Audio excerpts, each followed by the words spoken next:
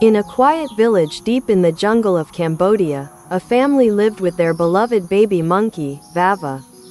Lena found Vava when she was just a few days old, orphaned and shivering in the forest.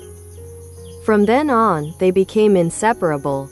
Every evening, as the sun sank below the horizon and the forest around them began to fill with the sounds of nocturnal animals, Lena would gather Vava in her arms. Wah, with her soft fur and curious eyes, would cling to his coat, aware of the warmth and security it provided.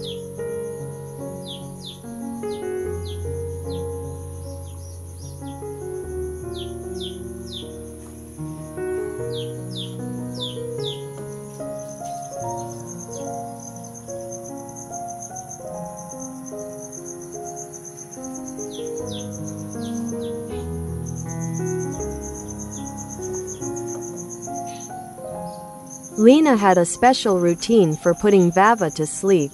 She would sit on the hammock of their modest hut, straddling his legs, with Vava gently nestled in her lap. Her voice, soft and soothing, would fill the room as she began to sing an ancient lullaby. The rhythm of her words, combined with the gentle rocking motion, would gradually calm Vava.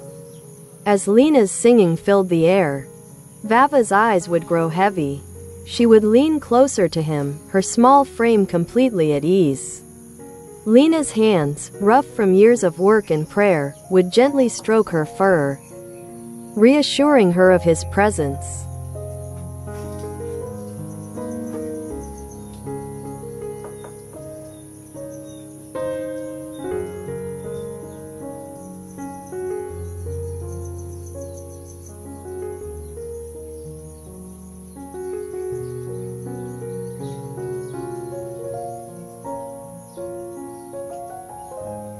Outside, the forest would sing its nightly song, the chirping of crickets, the rustling of leaves, and the sounds of nocturnal animals.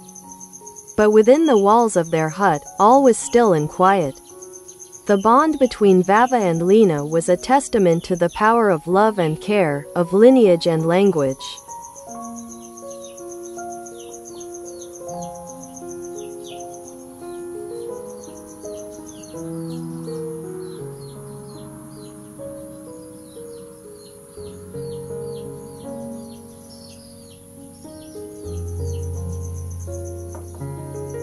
Lena would often whisper stories of Buddha and her own life to Vava, a soft murmur at night. Although Vava couldn't understand the words, she could feel the comfort and love behind them. It was enough to make her feel safe.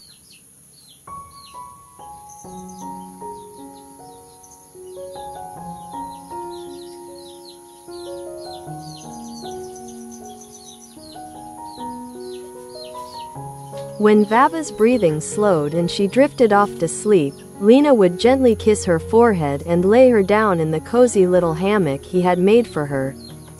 Then he would sit next to her, watching her as she dreamed, his heart filled with a sense of peace and contentment. In that quiet moment, under the star's gaze, the world seemed to stop. And in that quiet, Lena and her monkeys truly lived happily.